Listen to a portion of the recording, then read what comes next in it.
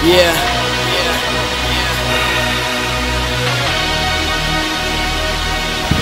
It seems like the world is testing me. Will I conquer or will it get the best of me? Half of the world sees success in me, the other half is second guessing me. But I kid you not, don't mess with me. Cause I think I got something possessed in me. No matter what, I'm gonna give what's left of me. I didn't choose this life, it was destiny. Now I'm feeling like a micro psycho. Stand back, cause I'm feeling like a micro. Slim chance, but I'm putting up a fight though. They tell me just the wrong path, but I know it's right though. Not pick up the world and shake like!